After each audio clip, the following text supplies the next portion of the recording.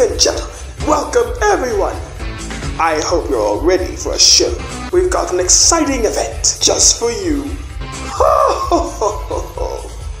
Since you all seem so bored, I put together a little something extra to spice things up. I call it the EX World Grand Prix, a tournament to see who's the best of the best with extreme gear.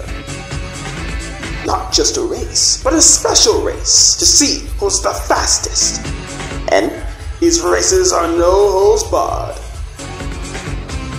All contestants pay a simple entry fee of one Chaos Emerald, and the winner takes it all. So let's see who among dares to meet this challenge.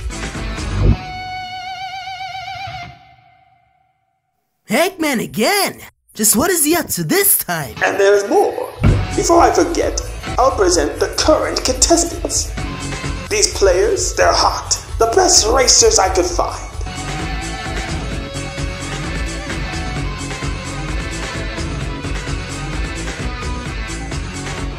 Hey, that's... The EX World Grand Prix, huh? Let's do this!